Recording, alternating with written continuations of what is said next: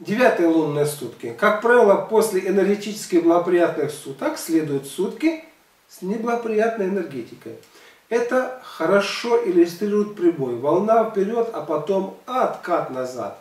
Все это естественно и понятно. Что касается сегодняшней энергетики, то она вызывает в сознании обольщение и заблуждение. Могут сниться кошмарные сны. Чтобы успешно противостоять этому, почитайте «Жития святых» или какие-то другие возвышающие книги. Там очень много информации по преодолению обольщений и заблуждений. Не рекомендуется сегодня рассматривать себя в зеркало, а тем более его разбивать. В питании постарайтесь обойтись без излишеств. Это касается животной пищи и спиртного. Полезно позаниматься силовыми упражнениями, чтобы вытеснить дурные мысли.